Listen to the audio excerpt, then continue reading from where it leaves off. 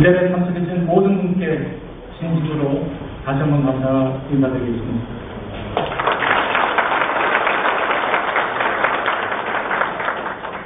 사실 오늘 행사 여러 개가 겹쳤습니다.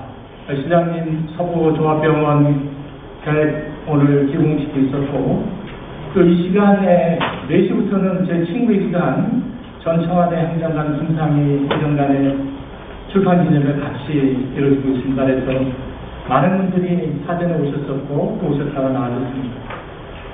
또 오늘 행사는 전문가들이 하는 것이 아니라 다 자원봉사를 통해서 진행을 하고 있습니다. 그러다 보니까는 이 자리에 참석하신 분들, 내 기분 분들 한 분 한분 거명을 못 드리고 소개하지 못한 분들도 있습니다. 어, 아무래도 저희가 세계적으로 하지 못한 분들이기 때문에 혹시 봤는데 소개 안 됐다 하신 분들 어렵게 양해해 주시기 부탁드리겠습니다. 오늘로 따뜻한 격려의 말씀을 보내신 김희경 전 행정안전부 재난안전 차관님의 김희경 수원의 미래를 빌다 출간을 진심으로 축하드립니다. 민선 7기 경기도 행정 일부자를 지내시며 저와 각별한 인연을 맺은 김희경 전 차관님께서 31년간의 공직 경험과 소회를 담은 책을 발간하여 무척 뜻깊게 생각합니다. 김희경 전 차관님께서 책임을 다해주신 덕분에 경기도지사로서 사상 유례없는 시도지사 직무 수행 평가 1을, 1위를 달성하고 장기간 유지하는 성과를 낼 수 있었습니다.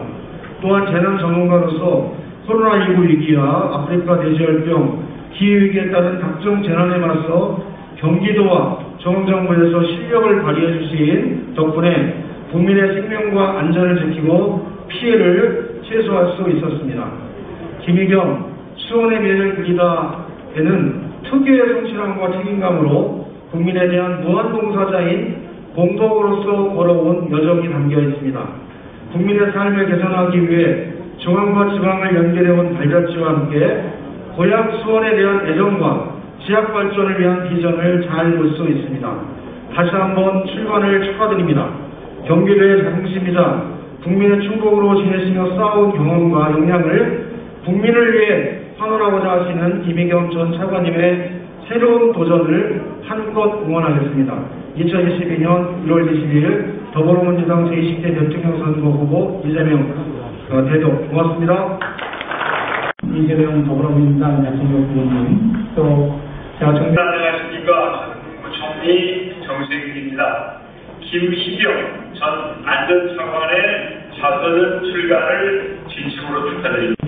정세균 전 국무총리를 비롯한 많은 분들께도 감사의 말씀드립니다. 오늘 김희겸 선생님이 책을 내시고 어, 여러분과 함께 출판 기념회 하시는 것 정말 축하드립니다. 특히 책 제목이 마음에 듭니다. 수원의 미래를 그리다. 네. 수원의 미래, 경기의 미래, 대한민국의 미래. 그것이 어떤 의미에서 보면 수원으로부터 시작된다고 저는 생각을 합니다. 오늘 시간 온라인 통해서 같이 하고 계신 분들께도 진심으로 감사의 말씀드립니다. 가지 송구스러운 말씀은 코로나로 인해 방역 수칙을 지키다 보니까는 이 자리에 함께 하셨음에도 불구하고 행사 중에 들어오지 못하시고 밖에서 영상으로 시청하신 분께 정말로 감사하고 또 송구스러운 말씀을 드리겠습니다. 코로나는 정말 힘든 시기입니다. 제가 오늘 출판 기념을 해야 될 것인가에 대해서 많은 고민을 했었습니다. 이런 시기에 도대체 방역을 했던 사람이 출판 기념을 해야 되는지, 한다면 어디에서 어떤 규모로 어떤 방식으로 해야 될 것인지 큰 고민을 했었습니다. 그 과정을 거쳐 이 자리에 오고 있습니다. 사실 시장님 말씀하셨지만은 제가 동남보건대학교를 정한 것은 이 동남보건학교에 계신 분들이 코로나 상황에서 우리나라 국민들의 생명을 지키기 위해서 방역 현장에서 열심히 뛰시는 분들이기 때문에 이 지금 저희 방역과 또 이분들의 이 동남보건학교에서 나오신 의료인들에 대한 영혼의 마음을 담아서 이곳에서 하게 됐던 말씀을 드리겠습니다. 김희경 수원의 미래를 위다 이 책은 사실 제 개인에 대한 이야기와 수원의 미래에 대한 이야기입니다. 세계 정부안부에서는 저희 개인 생활, 제가 어떻게 살아왔는가, 공무원이 된 배경, 공무원이 된 이후에 겪었던 중요한 일들, 그것을 갖고 있는 공직관에 대한 얘기를 담았습니다. 그 책의 후반부에 대해서는 수원이 어떤 장점을 갖고 있고 또 앞으로 어떤 방향으로 나아야 될지 그렇게 하기 위해서 어떤 과제들이 있고 우리가 어떻게 힘을 합쳐서 키워낼 것인가에 대한 그런 내용을 담았습니다.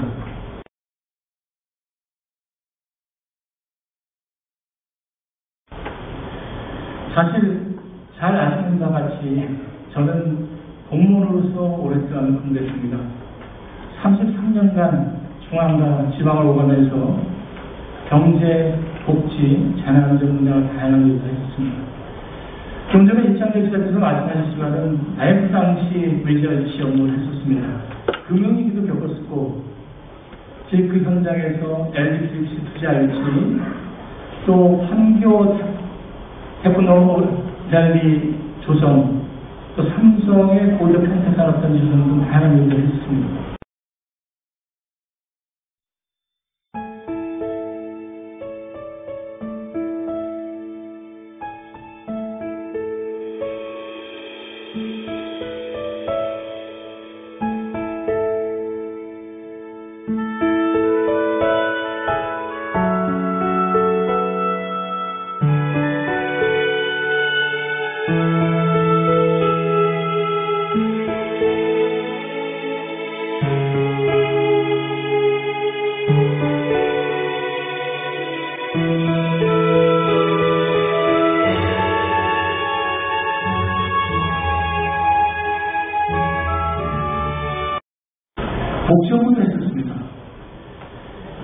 복지에 경기도 의료원 통합업무도 담당을 했었고 또 무한돌보물 사업이 기초됐던 내부어치라든지 또 무한 노인 중앙보시설 경도 처음 도입했던 것들을 했었습니다. 동주민센터 명칭을 바꾸고 동의 기능을 주민들이 복지문화 공간으로 전환하는 것들도 했었습니다. 그리고 최근에는 제가 재난원가, 재난 전문가라는 상을 맡고 있습니다. 그렇게 된 것은 사실 제가 경기도 행정사 시절 때 크고 작은 재난들이 너무 많이 발생됐습니다.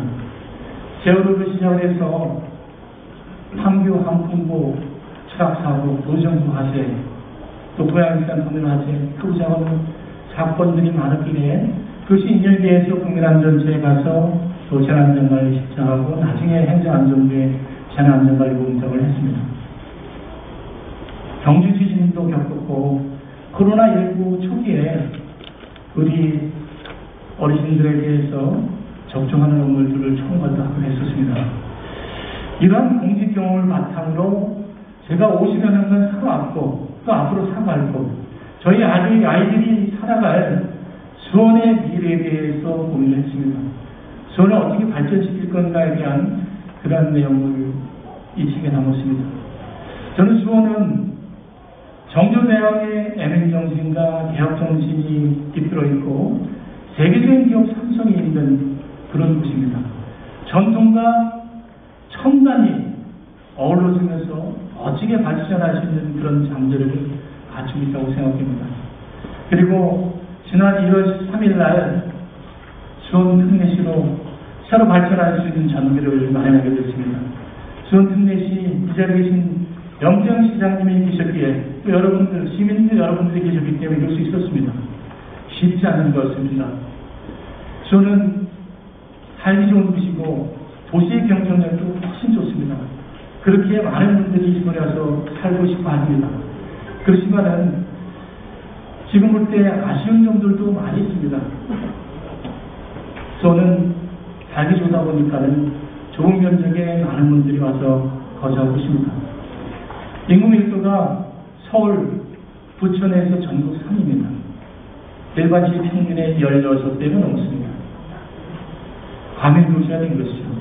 과밀 도시가 되니까는 교통 문제가 생길 수밖에 없고 주차난이 심각해집니다. 반면에 수원에서 거주하고 계신 분들이 수원에서 일자리를 만들 수 있는 기업들은 조금 부족한 입장입니다. 수원이 생산 도시가 아니라 소비 도시로 변해가고 있습니다. 이렇게 되다 보니 시의 재정력 확충에도 상당히 어려움을 겪고 있고 그 결과 꼭 필요한 복지, 문화, 교육, 교통 등에 대한 투자도 쉽지 않은 상황이라고 생각합니다. 이제 수원은 미래 발전에서 분명히 핵입니다. 미래를 위해서 남아있는 토지도 그렇게 크지 않습니다. 어떻게 활용할 것인가 여기 계신 시민들이 함께 고민해야 될 거라고 저는 생각합니다. 또한 수원시가 좀 더 보기 살기 좋은 곳이 되기 위해서는 미래 변환에 대해서도 미리미리 고민하고 대처해야 할 거라고 생각합니다. 가장 큰 문제 저출산 고령 문제입니다. 학교 출산율이 재작년에 0.84였습니다. 세계 꼴찌입니다. 인구 대비 크로스가 발생됐습니다. 수원의 학교 출산율은 0.8이 되지 않습니다. 살달 같은 경우는 겨우 0.62 정도밖에 되지 않습니다. 상당히 고민해야 될 사항이기도 합니다. 또 4차 산업혁명 시대 미리미리 대비해야 되고 코로나 이후의 삶의 패턴에 대해서 저는 생각해야 된다고 생각합니다. 이제 현재 수원에 살고 있는 사람들뿐만 아니라 앞으로 수원에서 살아갈 우리의 후손들에 대해서도 고민하고 수원에 사는 사람이 수원에 사는 것 자체가 자랑인 그런 수원시가 되어야 된다고 저는 믿고 있습니다. 제가 생각하는 수원은 그렇습니다. 이제 수원 특례시가 됐지만은 외형적 성장에 걸맞은 질적 발전을 가셔야 된다. 그 몸집에 맞는 보다 품격 있는 도시, 살고 싶은 수원이 되어야 된다고 저는 믿습니다. 그를 위해서는 현재 안고 있는 지역적 불균형, 분야별 불균형 문제 해결이 돼서 모두가 균형 있는 도시가 되어야 된다고 생각합니다. 또한 일제가 넘치고 지역 경제가 활력이 있는 그런 수원이 되어야 됩니다. 모든 사람들이 같이 살 수 있는 복지와 충침한 도시, 다 함께 따뜻한 행복한 도시가 되야 되고 문화가 넘치는 매력 있는 시 교통이 편리하고 자긍심이 있는 도시, 수원 시민들 다 함께 안전한 그런 시민이 되야 된다고 생각합니다. 이러한 것들은 어찌 보면은 좋게 얘기할 수 있는 거 아니냐는 얘기도 있지만은 혼자 꾸는 꿈은 꿈에 불과하지만은 이 여러 사람들이 같이 꿈을 꾸게 되면은 그것은 현실이 된다고 생각이 됩니다. 단순히 꿈이 아닙니다. 우리 수원 시민들이 함께 힘을 합친다면 저는 된다고 생각합니다. 이런 마음을 담아서 제가 이 책에 수원의 미래에 대한 연구를 했습니다. 이 책은 저에 대한 시민들의 응원에 대한 대답이기도 하고 또 저의 약속이기도 합니다. 우리 수원시가 어떻게 발전해 나갈 것인가 그런 부분에 대한 저의 굳은 다짐이기도 합니다. 서로를 믿고 응원해 주는 분들이 계셨기 때문에 이 자리까지 왔습니다. 함께하면은 못 이룰 일이 없다고 저는 생각하고 있습니다. 앞으로 지금까지 제가 살아왔고 또 앞으로 살아갈 그런 수원이 더욱더 매력있고 활력있고 더 멋진 도시가 되기 위해서 저 역시 이 길을 저의 소명으로 알고 열심히 하겠습니다. 이 자리에 계신 분들께서 함께 해주시길 바라겠습니다. 여러분들이 계시기에 저도 이 앞으로의 길을 좀 더 힘있게 걸을 수 있을 것 같습니다. 다시 한번 일정 중에서도 이 자리에 함께 해주신 모든 분께 감사의 말씀을 드립니다. 이제 일주일 있으면 설명적인 되는데 항상 굉장히 좋은 일만 많으시고 새해 복 많이 받으시겠습니다. 여러분의 응원에 기대에 풍하여 저 김희경 열심히 하겠습니다. 감사합니다.